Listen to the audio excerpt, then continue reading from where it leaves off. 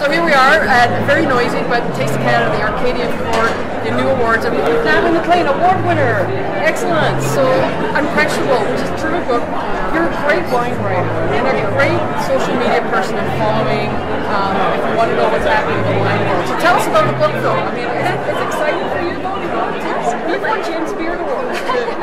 Well, first and foremost, I'm a great drinker. Okay, that's perfect. Excellent. We're talking about all these other peripheral things that help um, no, this, is thrilling. I love the vibe here. It's great, isn't it? Yeah. Celebrating Canadian food wine. You know, this is what we need to do, and I think that's the purpose of, of the awards. It's, it's it's personal glory for five minutes, but look at us now. We're all out there talking about food. Exactly. We're all got the food stations from the young chefs. Bringing attention to it. So there's wine.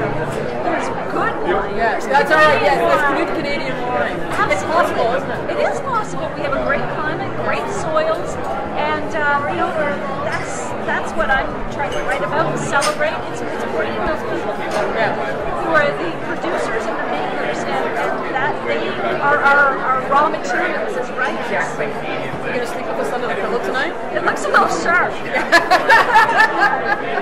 I don't know.